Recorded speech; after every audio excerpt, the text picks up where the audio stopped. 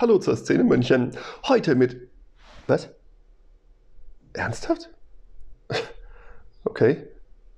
Ja, dann unterbrechen wir gleich zu Beginn wegen einer wichtigen Allmeldung.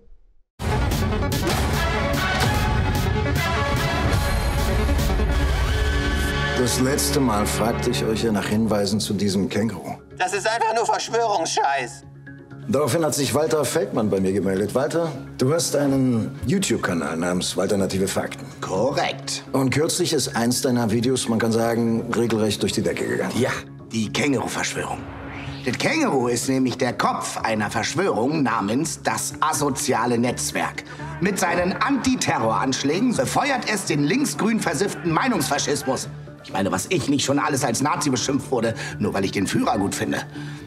Und du hast eventuell, möglicherweise vielleicht unter Umständen Schockierendes rausgefunden, nicht wahr? Ja, seit Jahrhunderten ziehen im Geheimen Kängurus die Fäden. Dieses Bild kennt ihr ja bestimmt. Was ihr aber nicht wisst, es wurde retuschiert. Man hat kürzlich mit Hilfe von Terrorherzstrahlung und der Layer Amplification Method freigelegt, wer wirklich das Gesicht dieses Umsturzes war. Ein Känguru! Wir müssen das Vieh aufhalten. Nieder mit der Känguru-Verschwörung. Ich bin bereit, für mein Land zu sterben. Eva hat uns Tee gemacht. Danke, Schatz. Was ist denn das für eine Sorte? Ich mag keinen schwarzen. Das ist deutscher Kräutertee. Hm. Kraft durch Freunde. Den gibt's übrigens auch in meinem Webshop. Und dort findet ihr auch andere tolle Produkte. Schaut doch mal rein. Als ich das mit dem Känguru auf Walters Kanal gesehen habe, da musste ich natürlich selbst gleich mal nachforschen. Und was ich rausgefunden habe, ist eventuell, möglicherweise, unter Umständen schockierend.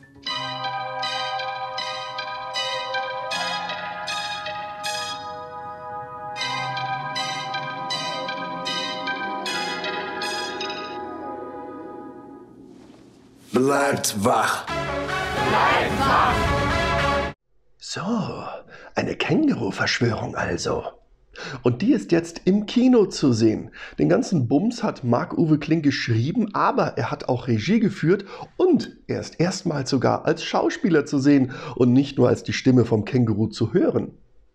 Dazu kommen wir gleich, doch zuvor etwas Werbung, nur ein Spot. Alle 23 Minuten verliebt sich ein Querdenker auf Wahrheitsliebe.info. Erstelle ein Profil und klicke einfach alles an, woran du glaubst. Wahrheitsliebe.info. Lasst euch den Mund nicht verbieten. Bleibt wach. Ernsthaft, Alter. Die schon wieder.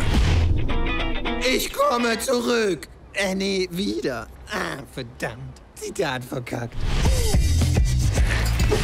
Hey, bleib stehen! Wer war denn? Wenn wir es schaffen, deine Mama wieder hinzubiegen, Wenn sie nicht mehr die Klimakrise leugnet. dann gehst du noch mal mit mir essen. Okay. In Paris. In Paris. Aber ohne Känguru. Auf jeden Fall ohne Känguru. Und du zahlst. Also, das muss jetzt nicht... Ich zahle. Okay. Und du schenkst mir deine Spielkonsole. Das ist natürlich optional. Wenn ihr es schafft, dann kriegst du auch noch die Konsole. Aber Mama. Keine Sorge, deine Oma ist eine harte Nuss. Die beiden verschwenden nur ihre Zeit. Na, das wäre ja nichts Neues. Nee, das wäre nichts Neues. Was ist denn, wenn ihr verliert? Dann lade ich dich zum Essen ein? Netter Versuch. Ein bisschen mehr darf schon sein. Wir haben doch nichts. Ihr habt eine schöne große Wohnung mit einem alten Mietvertrag. Du meinst... Wenn ihr verliert, dann tauschen wir die Wohnungen. Niemals. Welchen Anteil Känguru hast du in dir oder wann könntest du ihn am ehesten brauchen? Ähm, also so ähm, keinen Sensor im Kopf zu haben, wie man im normalen Leben manchmal hier und da hat. Den hätte ich gerne vom Känguru, weil der ist einfach so, wie ihm der Mund gewachsen ist. Aber ähm, sonst äh, auch, ja, politisch bin ich da auch nicht so anders wie er. Also ich finde, politisch sollte man heute unbedingt sein.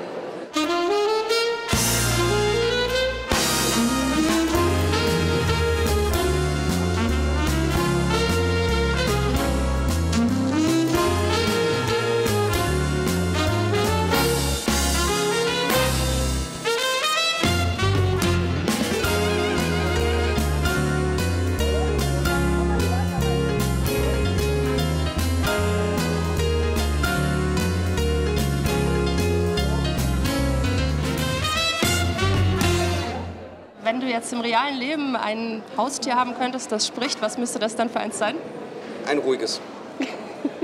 Ich habe mir neue Regeln ausgedacht. Was? Jeder formt ein beliebiges Symbol seiner Wahl. Danach wird ausdiskutiert, wer gewonnen hat. Klingt total bescheuert. Bist du dabei? Natürlich. Und ich nenne das Ganze Free Schnick. Free Schnick. Das klingt ja wie Frühstück auf Schwäbisch. Der Bub hat schon wieder sein Frühstück gegessen. hm, vielleicht besser Freischnick? Freischnick hört sich an wie etwas, das man von einer Prostituierten bekommt, wenn man das Stempelheft voll gemacht hat. Open Schnick.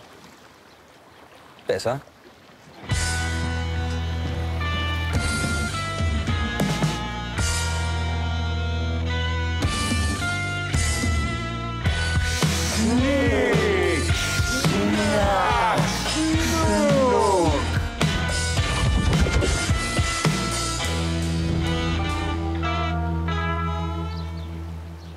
Was soll das sein? Kettensäge. Was hast du? Ich, ähm, eine Giraffe? Giraffe gegen Kettensäge? Da müssen wir wohl gar nicht diskutieren. Nee? Die Klimakatastrophe ist mit großem Abstand das größte Problem, das die Menschheit hat. Und das wird uns so lange begleiten, wie wir auf diesem Planeten leben werden. Punkt. Und deswegen ist das ein wahnsinnig wichtiges Thema und gleichzeitig ist es ein Thema, dem man normalerweise sehr wenig Humor abgewinnen kann, weil es so wahnsinnig scheiße und düster ist. Also, was ist eigentlich Ihr Problem mit dem Klimaschutz? Selbst wenn wir in 50 Jahren feststellen sollten, dass sich alle Wissenschaftler komplett vertan haben und es doch keine globale Erwärmung gibt, dann was? Dann hätten wir völlig ohne Grund dafür gesorgt, dass man selbst in den Städten die Luft wieder atmen kann, dass Flüsse nicht mehr giftig sind, dass Autos weder Krach machen noch stinken und dass wir nicht mehr abhängig sind von Diktatoren und deren Ölvorkommen. Da würden wir uns schön ärgern. Wovor haben Sie Angst? Doch nicht ernsthaft vor der Deindustrialisierung Deutschlands. Wer sollte das wollen? Das ist die Frage. Die Frage, die schon Cäsar gestellt hat. Cui bono. Also, wer profitiert? Äh, Ich glaube ja nicht wirklich, dass der Spruch von Cäsar ist. Witzige Idee. Und falsch zugeordnete Zitate. Zuerst mal profitiert der Staat, weil er sich einen Grund erfindet, die Steuern zu erhöhen. Ich kam, ich sah, ich siegte.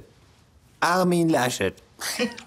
Frage nicht, was dein Land für dich tun kann. Frage, was du für dein Land tun kannst. Kim Jong-un.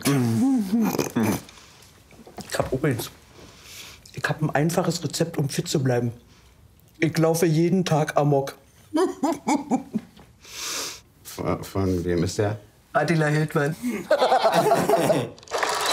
Das, was äh, Mark Uwe mit diesem Drehbuch geschafft hat, ist eben die Leugner der Klimakatastrophe so sehr in den Vordergrund zu stellen, dass man darüber wiederum Witze machen kann und auch eine gewisse Aufklärungsarbeit betreiben. Und deswegen finde ich das Thema sehr, sehr gut umgesetzt da drin. Wenn man los kaputt geht. Schnappt sie euch. Alles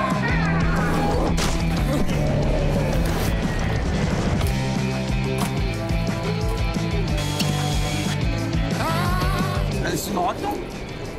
Da regt mich ja schon die Frage auf. Offensichtlich ist nichts in Ordnung. Werden Sie bitte mal Ihren Beutel.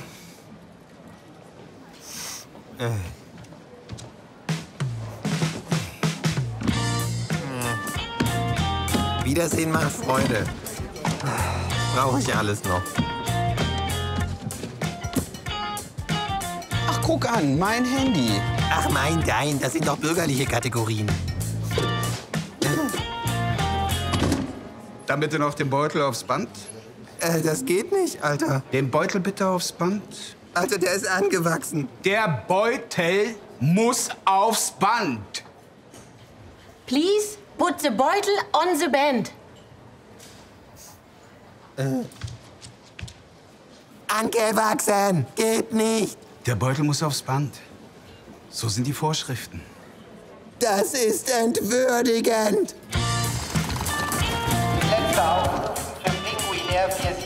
Nach Frankfurt. Bitte kommen Sie umgehend zu Flugsteig 17. Ich kann nichts erkennen. Wir müssen das nochmal machen. Du hast ja wohl den Arsch open. Und den Beutel bitte andersrum. Gehören die zu Ihnen?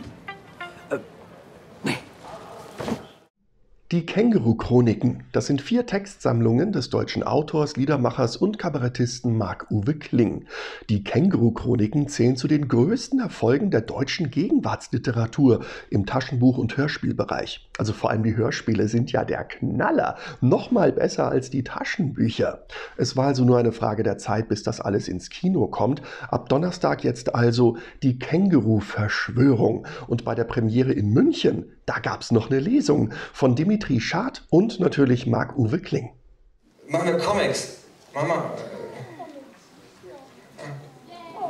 Und, und ich lese das, lese das Känguru, und, äh, weil ich die Stimme gut nachmachen kann. Wir können es auch mal andersrum machen, das wird super weird. Das wäre so weird. Aber, äh, Nicht echt heute. Nicht, nicht heute, wo deine... nee. So, ich glaube, die Leute drehen langsam durch. Langsam? Ich finde, die Leute drehen ziemlich schnell durch. Zum Beispiel Bill Gates. Bill Gates dreht durch? Nee, so meinte ich das nicht. Wobei an seiner Stelle will ich wahrscheinlich durchdrehen. Stell dir mal vor, du hast Windows Vista verbrochen, aber die Leute hassen dich, weil du die Kinderlähmung auslöschen willst. Damit hat er wahrscheinlich nicht gerechnet. Weißt du, was das Problem am Internet ist? Zu viele Links führen nach rechts.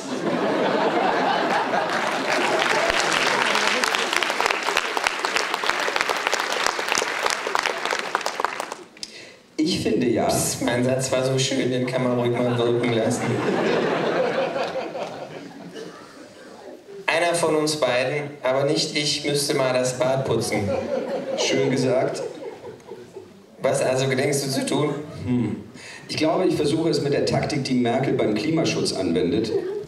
Das heißt, ich erkenne an, dass es ein Problem gibt. Ich gebe auch zu, dass ich Teil des Problems bin. Und ich sage sogar, dass ich etwas dagegen tun werde. Mit anderen Worten, du wirst das Bad nicht putzen. Ich könnte mir vorstellen, das Handtuch auf dem Halter gerade zu rücken. Ich habe voll die gute Idee. Ich starte ein Portal gegen Fake News im Internet und ich habe auch schon einen mega guten Namen. What the fuck? Super, ich habe auch voll die gute Idee. Ich fahre mit einem Zuckerstreuer an die Ostsee und mache einen Süßwassersee daraus. ja, aber wenn man genau drüber nachdenkt, eigentlich keine schlechte Idee, ne?